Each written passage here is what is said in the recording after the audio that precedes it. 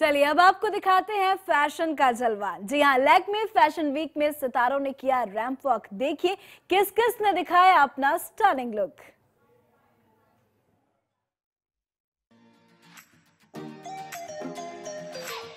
जब वीक ही फ़ैशन का हो तो कोई सिंपल लुक कैसे कैरी कर सकता है? अब आप ही देख लीजिए, कैसे लैक्मे फ़ैशन वीक का जादू बॉलीवुड टॉलीवुड से लेकर प्लेयर्स पर भी छाया हुआ है।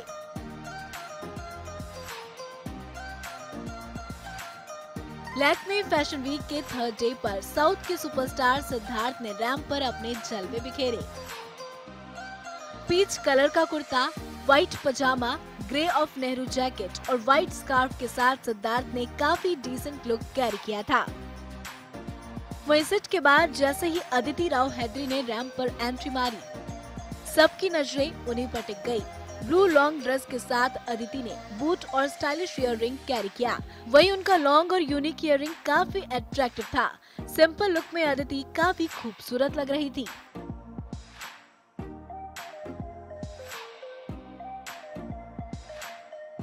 रैंप पर सानिया मिर्ज़ा ने भी जलवा बिखेरा। व्हाइट ग्रे चेक में उनकी लॉन्ग ड्रेस काफ़ी स्टाइलिश लग रही थी। सानिया ने अपनी ड्रेस के साथ न्यूट मेकअप कैरी किया था। सिंपल लुक में सानिया बेहद प्यारी लग रही थी। लैक्मी फ़ैशन वीक में अनन्या का लुक भी काफ़ी स्टाइलिश दिखाई दिया। अनन्या रैंप पर नहीं, बल्कि सेलिब्रिटी टॉक में पहुँची थी। अनन्या ने डेनिम कैफरी के साथ कलरफुल टॉप कैरी किया था।